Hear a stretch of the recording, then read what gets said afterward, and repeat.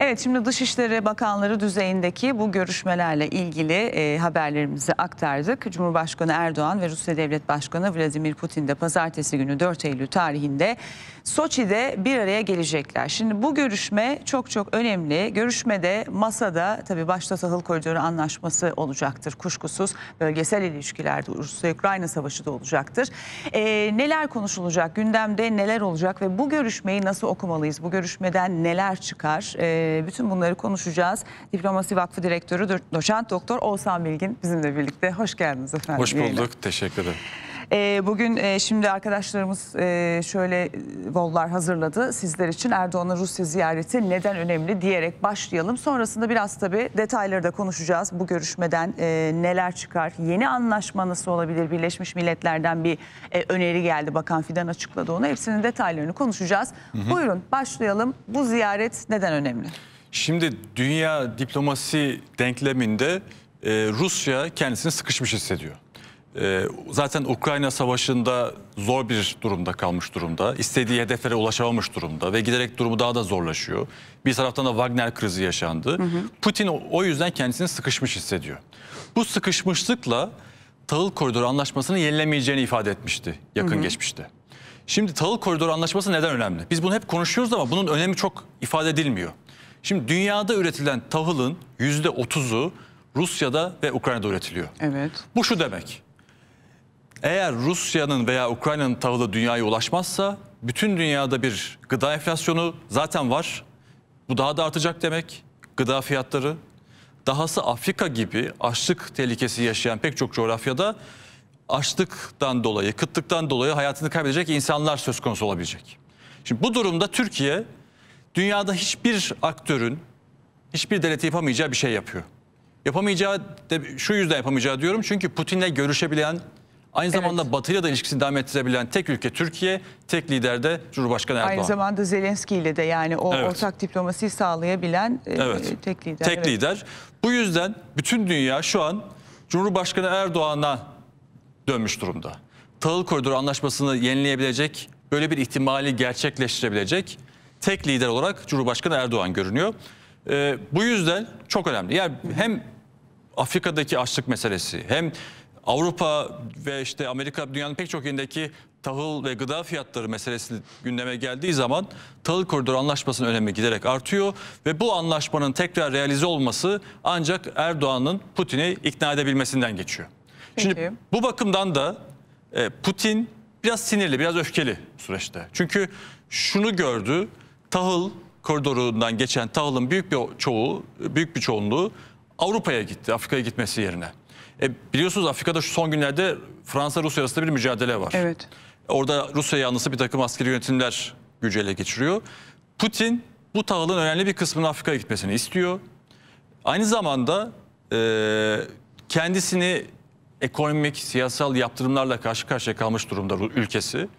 Bunlar da biraz yumuşama istiyor. E, bu yüzden de Erdoğan yani hakikaten Sayın Erdoğan sırtında büyük bir insani yükle aslında bu görüşmeye gidiyor. E, yani daha önceki biliyorsunuz İstanbul'da yapılmıştı bu anlaşma. E, tarafları bir araya getirmişti Cumhurbaşkanı Erdoğan. Yine böyle bir anlaşma söz konusu. Soçi'deki görüşme bakın önemli. Şunu söyleyeyim. Dünyadaki herhangi bir başka lider tahıl koridoru gibi böyle bir insani meseleyi, böyle bir insani anlaşmayı başarabilmiş olsaydı Evet. ona Nobel Barış Ödülü verilirdi. Ama söz konusu Türkiye, bir Türk ve Sayın Cumhurbaşkanı Erdoğan olduğu zaman tabii bu ödüller e, verilmiyor. Ödülün çok önemi yok. Tarih kitapları zaten gerekeni yazacaklar. Bunu sadece hani bir çifte standart olarak bahsetmek istedim. Yani sadece tahıl krizinde değil enerji krizinde de Tabii. savaştan sonra ortaya çıkan enerji krizinde de Türkiye e, gerçekten çok diplomatik Tabii. öneme e, sahip yani bu noktada. E, peki şimdi e, barış olacaksa bunu Erdoğan'dan başkasını sağlayabileceğine dair kimse inancı yok. Gerçekten de öyle aslında E, Avrupa'daki ya A- A- Avrupa da bunun e, sonuçlarını sadece Avrupa değil aslında yani birçok ülke e, bu görüşmenin sonuçlarını bekliyor. Yeni tahıl anlaşması peki nasıl olabilir? Şimdi e, sadece a- yani Ukrayna'da Ukrayna'dan değil Rusya da aslında Rusya'nın da şöyle bir şikayeti var. O da kendi gübresini taşımak istiyor.